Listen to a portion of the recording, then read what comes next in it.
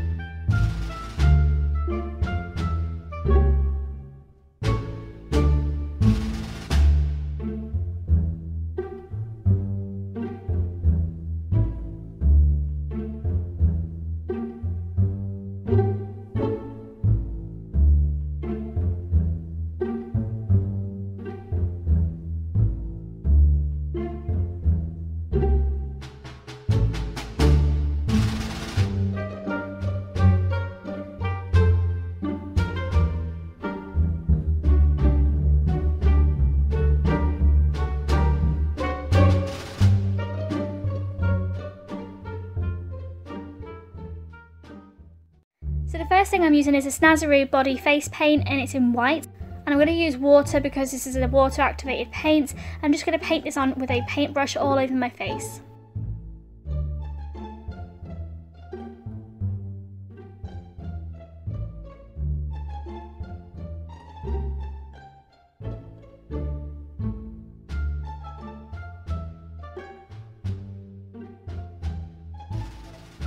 Then I am taking the Lunatick Cosmetics contour palette and I'm taking this white pressed shadow here and I'm going to set the face paint now. You don't really need to do this but it makes it more matte and easier to go over with shadows. Then I am taking the Camo Eyes contact lenses. These are the green ones. They're so amazing. I will leave a link down below so you can get a discount on these. They're so, so incredible. Then I am taking the NYX Jumbo Pencil in Milk and I'm going to apply this underneath the lower lash line and up in my waterline to really knock out that skin tone and make it look more white. Then I'm going back on my brow bone and my crease and I'm going to blend this in with my finger.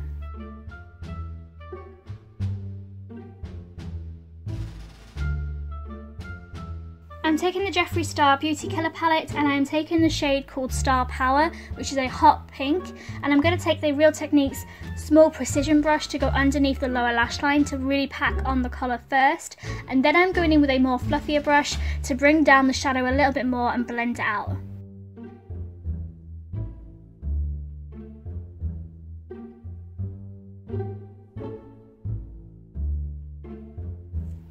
Am going in with this blue colour called Expensive, which is a stunning shade.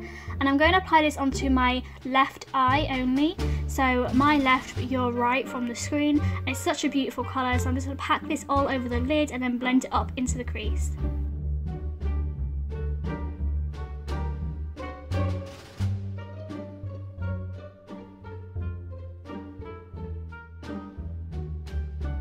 and then I'm going in with this purple colour called Violence and it's a gorgeous purple and I'm going to again really pack this onto the lid and then blend up into the crease yet again.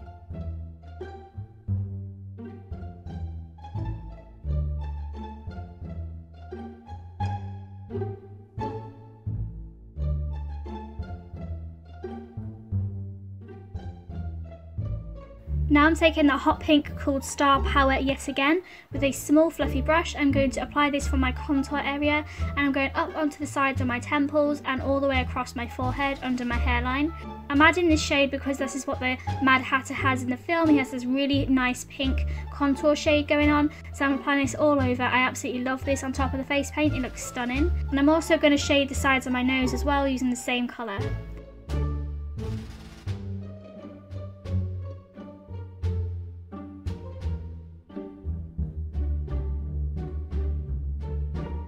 Now I'm taking the Snazaroo face and body paint yet again, but in orange this time. And I'm going to fill in my brows with this, again using some water. You can use actual fake hair for your eyebrows if you wanted to, um, but I find it's just a bit more too, I don't know, gimmicky and more theatrical looking. This one looks more natural, plus I want it to look a bit more feminine, so I'm just going to paint them on instead. Then I am taking a black liquid liner just to create a black line. I'm not going to do a wing or anything, just a straight black line so it avoids any mascara messes.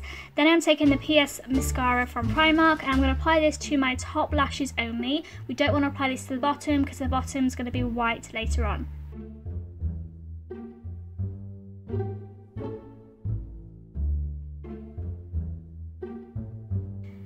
I'm taking the L'Oreal Pressed Shadow in Time Resist White, which is a frosty shimmery white colour. And I'm going to pack this on in the inner corner to really whiten and brighten the eyes. And then I'm also going to be taking this pressed shadow onto my cheekbones down the centre of my nose and Cupid's bow, just because this is a frosty white and on top of the white face paint it looks like a really beautiful highlight colour and it's absolutely stunning on the finished look so I am applying this all over.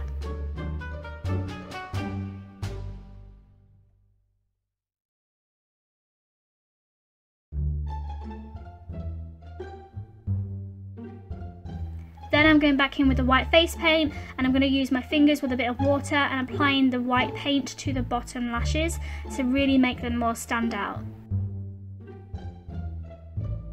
Then I am moving on to the lip lacquer from MUA in Funk, which is a beautiful dark pink colour. It's absolutely stunning and perfect for the Mad Hatter.